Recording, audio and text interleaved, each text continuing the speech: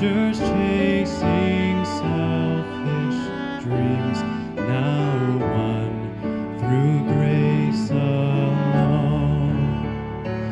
How could i now dishonor the ones that you have loved?